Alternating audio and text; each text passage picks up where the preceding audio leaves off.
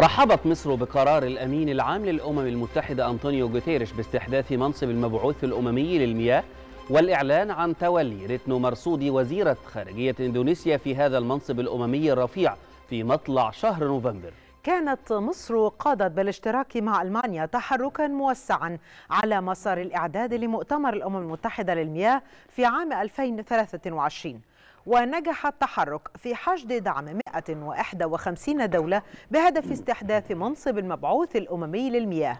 يعد قرار الأمين العام للأمم المتحدة باستحداث المنصب الأممي تتويجا للجهود المصرية في تطوير العمل متعدد الأطراف لمواكبة التحديات المستحدثة.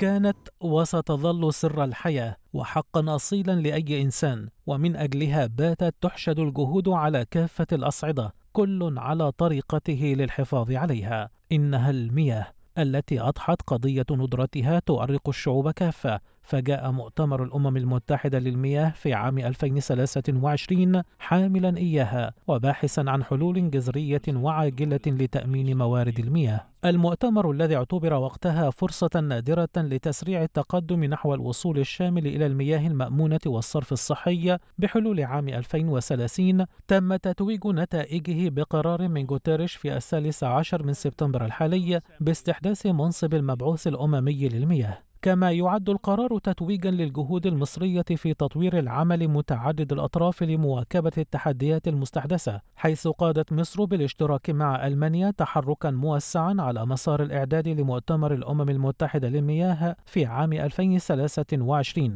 ونجح هذا التحرك في حشد دعم 151 دولة بهدف استحداث منصب المبعوث الأممي للمياه ولدعم جهود الدول الأعضاء وبخاصة دول الندرة المائية في مواجهة تحديات تحقيق الهدف السادس من أهداف التنمية المستدامة المعني بالمياه. وفي هذا الإطار تتطلع مصر لتعزيز التعاون مع المبعوثة الأممية الجديدة ريتنو مرسوتي من إندونيسيا لتحقيق أهداف أجندة 2030 في مواجهة الندرة المائية وفي ظل الجهود الكبيرة التي تبذلها الدولة للإدارة الرشيدة للموارد المائية وتعزيز التعاون العابر للحدود وفقا لقواعد القانون الدولي.